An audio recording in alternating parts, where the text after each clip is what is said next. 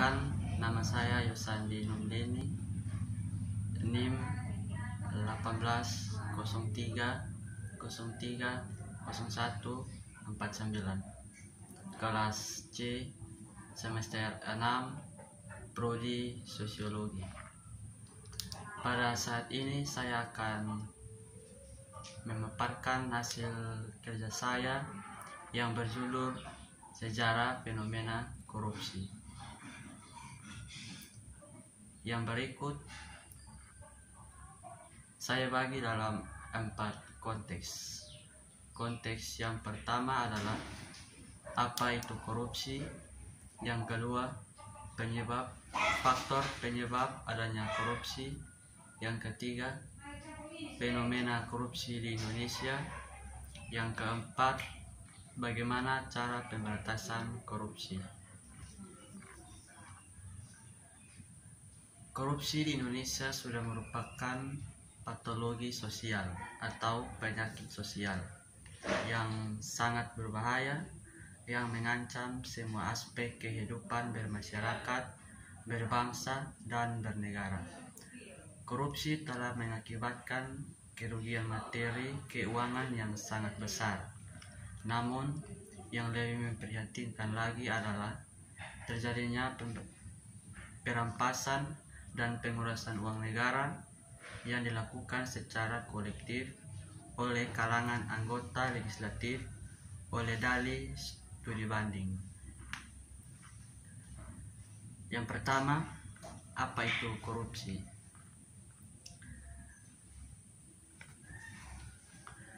Kata korupsi menurut Kamus Besar Bahasa Indonesia yaitu penyelewengan atau penggelapan atau biasa kita disebut uang negara atau perusahaan dan sebagainya untuk kepentingan pribadi atau orang lain.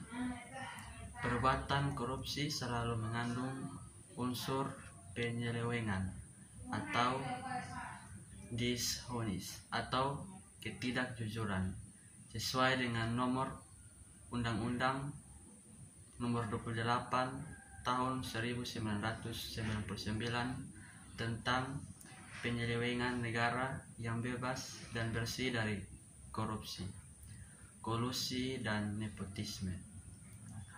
Disebut bahwa korupsi adalah tindak pidana sebagai dimaksud dengan ketentuan perundang-undangan yang mengatur tentang pidana korupsi.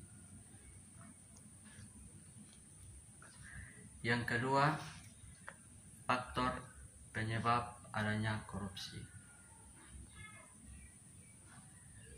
Dalam materi ini saya bagi dalam lima poin. Poin yang pertama, penegakan hukum tidak konsisten. Penegakan hukum hanya sebagai make up politik. Sifatnya sementara selalu berubah setiap berganti pemerintahan yang kedua, penyalahgunaan kekuasaan wewenang takut dianggap bodoh kalau tidak menggunakan kesepakatan.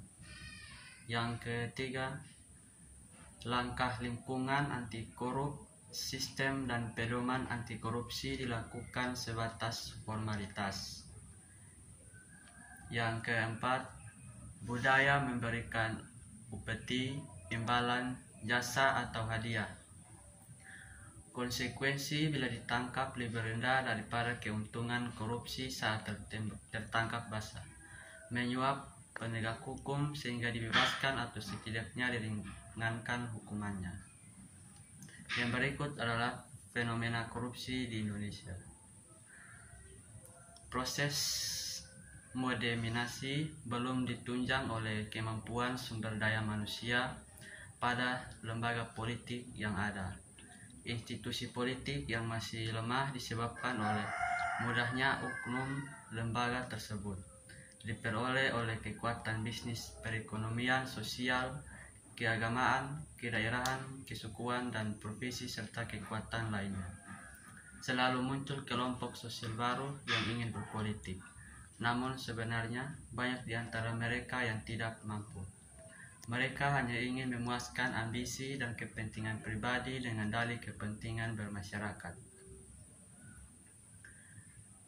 Bagaimana cara pemberantasan korupsi membersihkan kantor kepresidenan dan wapres sekretariat keluarga serta yayasan-yayasan mengawasi perdagangan barang-barang di semua departemen, mencegah penyimpangan proyek konstruksi Aceh, meneliti pembayaran pajak cukai, meningkatkan intensitas pemberantasan liar, memburu terpidana korupsi yang kabur ke luar negeri.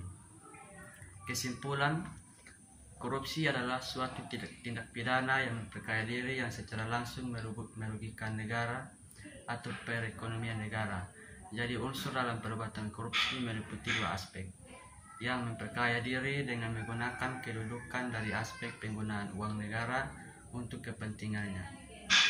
Ketiadaan dan kelemahan pemimpin, kelemahan pelajaran dari etika, kolonialisme, rendahnya kalangan lingkungan yang subur untuk perilaku korupsi, rendahnya sumber daya sumber daya serta struktur ekonomi Korupsi diklarifikasikan dalam tiga jenis, yaitu sifat dan tujuan. Dampak korupsi bisa terjadi di berbagai bidang demokrasi, ekonomi, dan kesejahteraan negara.